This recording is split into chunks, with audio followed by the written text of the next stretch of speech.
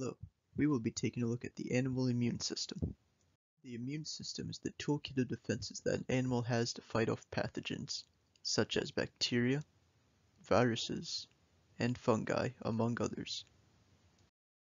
The immune system can be divided into two main parts, the innate immune system, which is present in all animals, and the adaptive immune system, which is only present in vertebrates. Let's start by exploring the innate immune system. Most animals have a protective exterior that serves as the first line of defense against pathogens. Humans have a protective layer of dead cells and keratin, while insects have an outer layer called cuticle. Pathogens will sometimes be able to bypass the protective outer layer and enter the body. This will elicit an immune response from white blood cells in the body, also known as leukocytes. Leukocytes are coated with special receptor proteins called toll-like receptors, or TLRs. These TLRs can bind to antigens, which are molecules not normally found in the host that are associated with pathogens. When leukocytes bind to an antigen, it will trigger a response signal according to the type of antigen found. Let's take a look at the inflammatory response in humans. This person has scraped their knee, which has allowed pathogens to bypass their first line of defense. Platelets will arrive at the site of the injury and begin releasing proteins that will clot the blood. Macrophages and wounded tissues will begin releasing chemokines that will signal other leukocytes to come to the wound.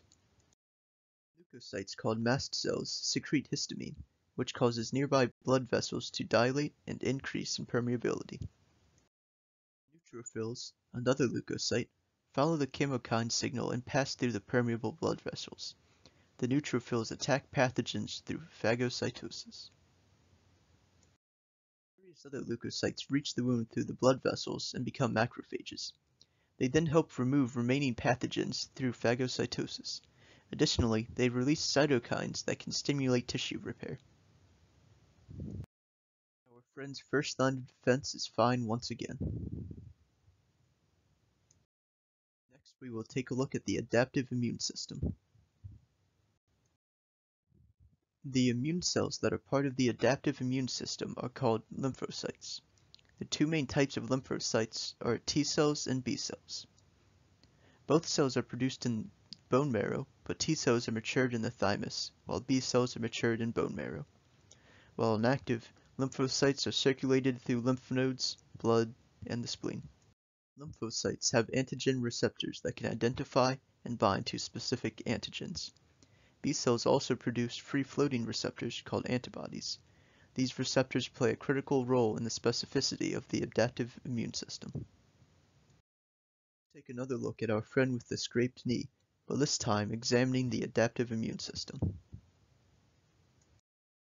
Lymphocytes called dendritic cells will engulf antigens through phagocytosis.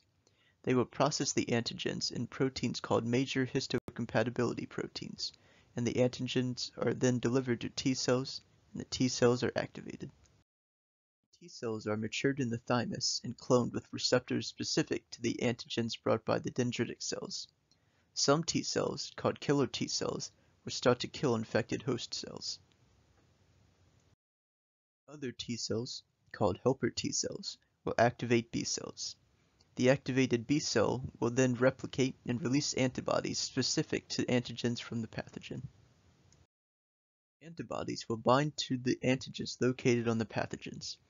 The antibodies on the pathogens will make them easy targets for phagocytes and proteins, will prevent the pathogen from entering host cells, and clump pathogens together. In addition to fighting off pathogens, B cells and T cells will produce memory cells. If the same antigen is in the body again in the future, memory cells will be able to quickly identify it and initiate an immune response.